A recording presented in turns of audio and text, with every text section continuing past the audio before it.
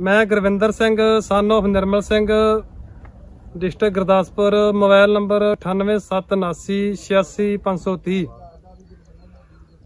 ਮੈਂ Zoom meeting ਤੇ ਕੁਲਦੀਪ ਸਿੰਘ ਮਾਧੋਕੇ ਹੁਣਾਂ ਦੇ ਮੀਟਿੰਗ ਅਟੈਂਡ ਕਰ ਰਹੇ ਆ ਤੇ ਦਰਬਾਰੇ ਖਾਲਸਾ ਤੇ ਜਿਹੜੇ ਮੀਟਿੰਗ ਕਰਾ ਰਹੇ ਨੇ, ਉਹ ਡੇਲੀ ਅਟੈਂਡ ਕਰਦੇ ਆ ਇਹਨਾਂ ਦੀ।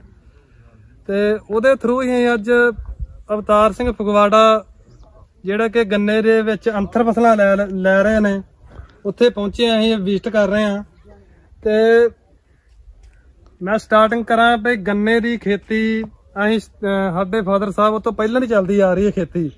ਤੇ ਤਕਰੀਬਨ ਮੈਂ ਵੀ ਵੇਖ ਰਿਹਾ ਵੀ ਗੰਨਾ ਦਾ ਜਿਹੜੇ ਬੀਜ ਦੀ ਅਸੀਂ ਗ- ਗੱਲ ਕਰੀਏ ਤਾਂ ਬੀਜ ਤਕਰੀਬਨ ਸਾਡਾ, ਮੈਂ ਅਰਕੀ ਵੀ ਗੰਨੇ ਦੀ ਖੇਤੀ ਕੀਤੀ ਹੈ ਸਵਾ ਕੁ 4 ਏਕੜ ਗੰਨਾ ਲਾਇਆ ਮੈਂ ਇਸ ਟਾਈਮ ਉਹਦੇ ਵਿੱਚ ਤਕਰੀਬਨ ਸਵਾ 4 ਏਕੜ ਵਾਸਤੇ ਮੈਨੂੰ ਇੱਕ ਟਰੱਕ ਗੰਨੇ ਦਾ ਮੰਗਾਉਣਾ ਪਿਆ ਵਾ, ਬੀਜ ਵਾਸਤੇ। ਤੇ ਤਕਰੀਬਨ ਜੇ ਮੰਨ ਕੇ ਚੱਲੀਏ ਤੇ 50000 ਤੋਂ ਉੱਪਰ ਜਿਹੜਾ ਵਾ ਸਾਡਾ ਬੀਜ ਪੈ ਗਿਆ ਗੰਨੇ ਦਾ, ਏਕੜ ਦਾ। ਉਸ ਤੋਂ ਬਾਅਦ ਖਾਦਾਂ, ਦਵਾਈਆਂ, ਸਪਰੇਆਂ, ਜਿਹੜੀ ਆਪਣੀ ਮਿਹਨਤ ਤੇ ਉਸ ਤੋਂ ਬਾਅਦ ਲੇਬਰ, ਉਸ ਤੋਂ ਬਾਅਦ ਲਗਾਤਾਰ ਹੀ ਵੇਖੇ ਤੇ ਫਿਰ ਵੀ ਈਲਡ ਜਿਹੜੀ ਸਾਡੇ ਗੰਨੇ ਦੀ ਜਿਹੜਾ ਝਾੜ ਨਿਕਲਦੇ ਆ ਉਹ ਤਕਰੀਬਨ 350 400 ਕੁਆਂਟਲ ਜਾਂ ਹੱਦ 450 ਨਿਕਲਦਾ ਵਾ। ਤੇ ਖਰਚਾ ਤੁਸੀਂ ਸਟਾਰਟਿੰਗ 'ਚ ਵੇਖ ਲਓ ਸਾਡਾ ਕਿੰਨਾ ਹੋ ਗਿਆ ਵਾ। ਅੱਜ ਇਹਨਾਂ ਦੇ ਅਸੀਂ ਫਾਰਮ ਤੇ ਵੇਖਿਆ ਆਣ ਕੇ ਇਹਨਾਂ ਅਸੋਂ ਦੀ ਬਿਜਾਈ ਕੀਤੀ ਹੈ ਗੰਨੇ ਦੀ। ਤੇ ਉਦੋਂ ਇਹਨਾਂ 1250 ਅੱਖਾਂ ਇੱਕ ਏਕੜ ਦੇ ਵਿੱਚ ਲਾਈਆਂ ਨੇ। ਤੇ ਤਕਰੀਬਨ 70 ਗੰਨੇ ਬਣਦੇ ਆ ਇੱਕ ਏਕੜ ਦੇ। ਜੇ ਵੇਖੀਏ ਤਾਂ ਵੇਖ ਲਓ ਵੀ ਕਿੰਨਾ ਖਰਚਾ ਵਾ 70 ਗੰਨਿਆਂ ਦਾ 70 ਗੰਨਿਆਂ ਦਾ ਕੁਝ ਵੀ ਨਹੀਂ ਭਾਰ ਬੰਦਾ ਤੇ ਉਸ ਤੋਂ ਬਾਅਦ ਜਿਹੜੀਆਂ ਅੰਤਰ ਫਸਲਾਂ ਨਾਲ ਲਈਆਂ ਨੇ, ਸਬਜ਼ੀਆਂ, ਹਜੇ ਵੀ ਤੱਕ ਵੀ ਹਰੀ ਮਿਰਚ ਵੀ ਹੈਗੀ ਹੈ ਵਿੱਚ ਮਿਰਚਾਂ ਦੇ ਬੂਟੇ ਲੱਗੇ ਨੇ, ਵੇਖ ਲਓ ਕਿੱਦਾਂ ਗੰਨਾ। ਤੇ ਗੰਨੇ ਦੀ ਮਟਾਈ ਤੁਹਾਨੂੰ ਮੈਂ ਵਿਖਾਉਣਾ ਵੇਖੋ ਗੰਨੇ ਦੀ ਮਟਾਈ ਤੇ ਜੇ ਇੱਕ ਪੋਰੀ ਤੋਂ ਜਿਹੜੀ ਇੱਕ ਪੋਰੀ ਇਹਨਾਂ ਲਾਈ ਸੀ ਉਸ ਤੋਂ ਵੇਖ ਲਓ ਵੀ 25 ਤੋਂ 30 ਗੰਨੇ ਇਹਦੇ ਵਿੱਚ ਇਸ ਟਾਈਮ ਮੌਜੂਦ ਨੇ।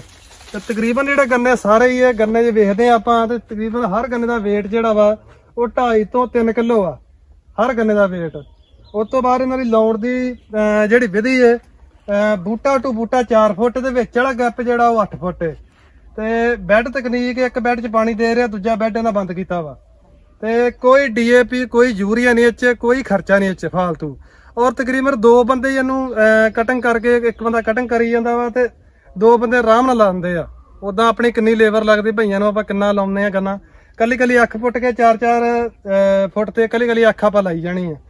ਤੇ ਇਹਦਾ ਝਾੜ ਤਾਂ ਤੁਹਾਡੇ ਸਾਹਮਣੇ ਹੀ ਆ 900 ਕੁਆਂਟਲ ਤੋਂ ਉੱਪਰ ਝਾੜ ਦੱਸ ਰਹੇ ਇਹਨਾਂ ਦਾ 950 960 ਕੁਆਂਟਲ ਤੇ ਇਹ ਜਿਹੜੀਆਂ ਅੰਤਰ ਫਸਲਾਂ ਲੈ ਚੁੱਕੇ ਨੇ ਉਹਦੇ ਵਿੱਚੋਂ ਘਰ ਦੇ ਖਰਚੇ ਜਿੰਨੇ ਵੀ ਸਾਰਾ ਕੁਝ ਚੱਲ ਸਬਜ਼ੀਆਂ ਦੇ ਵਿੱਚੋਂ ਜਿੰਨਾ ਇਹਨਾਂ ਦਾ ਖਰਚਾ ਹੋਇਆ ਵਾ, ਤਕਰੀਬਨ ਹੁਣ ਖਰਚਾ ਕੋਈ ਜ਼ਿਆਦਾ ਹੈ ਹੀ ਨਹੀਂ ਕਿਉਂਕਿ ਆਪਾਂ ਖਾਦਾਂ ਹੀ ਨਹੀਂ ਪਾਈਆਂ, ਨਾ ਕੋਈ ਲੇਬਰ ਹੈ। ਤੇ ਅੰਤਰ ਫਸਲਾਂ ਦੇ ਘਰ ਦਾ ਵੀ ਖਰਚਾ ਚਲਾਤਾ ਇਹਨਾਂ ਦਾ ਤੇ ਜਿਹੜਾ ਫਸਲ ਦੇ ਉੱਪਰ ਲੱਗਾ ਉਹ ਇਹਦੇ ਵਿੱਚੋਂ ਹੋ ਗਿਆ। ਉਸ ਤੋਂ ਬਾਅਦ ਗੰਨੇ ਦੀ ਫਸਲ ਜਿਹੜੀ ਹੈ, ਹੁਣ ਤੂੰ ਪੂਰਾ ਹੀ ਪੈਸਾ ਜਿੰਨਾ ਵੀ ਇਹਨਾਂ ਵਟਣਾ ਵਾ ਤੇ ਸਿੱਧਾ ਬੈਂਕ ਦੇ ਵਿੱਚ ਹੀ ਜਾਣਾ ਵਾ। ਤੇ ਇਹਦੇ ਉੱਪਰ ਮਤਲਬ ਕਿ ਕੋਈ ਹੁਣ ਜ਼ਿਆਦਾ ਨਹੀਂਗਾ ਤਕਰੀਬਨ ਜੂਸ ਵਾਲਿਆਂ ਨਾਲ ਕੋਈ ਗੰਨਾ ਲੈ ਜਾਂਦੇ ਜਿੱਦਾਂ 85 ਵੈਰਾਈਟੀ ਖੜੀ ਹੈ ਗੰਨੇ ਦੀ ਤੇ ਬਹੁਤ ਹੀ ਮੋਟਾ ਗੰਨਾ ਵਾ।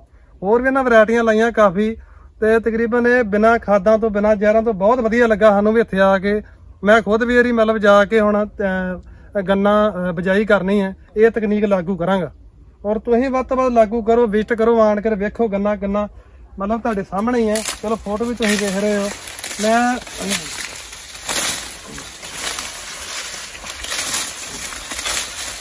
ਪਰ ਮੈਂ ਕੈਮੀਕਲ ਅਸੀਂ ਵੀ ਕੈਮੀਕਲ ਦੀ ਖੇਤੀ ਕਰ ਰਹੇ ਹਾਂ 24 ਇੰਚ ਤੇ 2 ਫੁੱਟ ਤੇ ਗੰਨਾ ਲਾ ਰਹੇ ਹਾਂ। ਤੇ ਉਹਦੇ ਵਿੱਚ ਜਿਉਂ ਦਾ ਇਹ ਗੰਨਾ ਲਾਇਆ ਵਾ, ਖਾਦਾਂ, ਦਵਾਈਆਂ, ਸਪਰੇਆਂ, ਪਾਣੀ, ਮਤਲਬ ਲੱਗੇ ਰਿਹਾ ਲਗਾਤਾਰ, ਫਿਰ ਵੀ ਈਲਡ ਇਹ ਅੱਧੀ ਆਉਂਦੀ ਹੈ ਤਕਰੀਬਨ। ਤੇ ਜੇ ਆਪਾਂ ਇਸ ਹਿਸਾਬ ਨਾਲ ਆਪਾਂ ਖੇਤੀ ਕਰਦੇ ਹਾਂ, ਛੋਟੇ ਲੈਵਲ ਤੋਂ ਸ਼ੁਰੂ ਕਰੀਏ, ਤੇ ਬਹੁਤ ਵਧੀਆ ਵਾ। ਤੁਸੀਂ ਵੀ ਦਰਬਾਰੇ ਖਾਲਸਾ ਨਾਲ ਜੁੜੋ ਮੀਟਿੰਗ ਅਟੈਂਡ ਕਰੋ, ਤੇ ਤੁਹਾਨੂੰ ਆਟੋਮੈਟਿਕ ਜਾਣਕਾਰੀ, ਤਕਰੀਬਨ ਜਾਣਕਾਰੀ ਉੱਥੋਂ ਮਿਲਦੀ ਹੈ। ਅਸੀਂ ਵੀ ਜਾਣਕਾਰੀ ਉੱਥੋਂ ਲੈ ਕੇ ਇਹਨਾਂ ਦੇ ਥਰੂ ਗੱਲਬਾਤ ਕਰਕੇ ਵਿਜ਼ਿਟ ਕਰਨ ਆਏ ਆ ਤਾਂ ਵੇਖੋ ਬਾਕੀ ਗੰਨਾ, ਉਹ ਪਰਲੀ ਸਾਈਡ ਵੀ 92 ਵੈਰਾਈਟੀ ਹੈ। ਉਹ ਵੀ ਵੇਖੋ ਗੰਨਾ ਕਿੱਡਾ ਸੋਹਣਾ ਵਾ। ਔਰ ਬਿਨਾ ਖਾਦਾਂ ਤੋਂ 1% ਵੀ ਯੂਰੀਆ ਨਾ ਡੀਏਪੀ ਖਾਦ ਪਈ ਹੈ।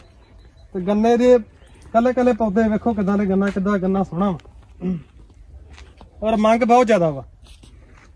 ਕੱਲੇ ਕੱਲੇ ਗੰਨੇ ਚੋਂ 7 ਤੋਂ 8 ਗਲਾਸ ਜੂਸ ਨਿਕਲ ਰਿਹਾ ਬਹੁਤ ਸੋਹਣਾ ਗੰਨਾ ਵਾ, ਇਹ ਤਕਨੀਕ ਨੂੰ। ਲਾਗੂ ਕਰੋ। ਵਾਹਿਗੁਰੂ ਜੀ ਕਾ ਖਾਲਸਾ ਵਾਹਿਗੁਰੂ ਜੀ ਕੀ ਫਤਿਹ।